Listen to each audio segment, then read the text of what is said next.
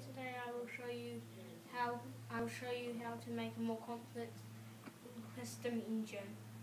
To start with I'll take it apart. So we've got this bit here which is three of these bits lined up along a five, these bits here and that bit along there. And then just the reg just the regu regular um, piston engine base like this. So you can see I've got pistons here. And then, so you've got these bits here. Um, this bit, you need one of these, one of these, and another one of these. So you make it like this. So this bit here goes in like that.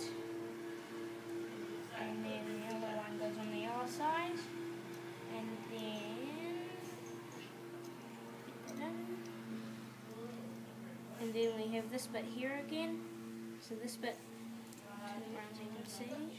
So this bit here goes on to this axle here, so you can see it's going through there. And then that clips on, and then that bit there will clip on once you got it all right. Just put this on.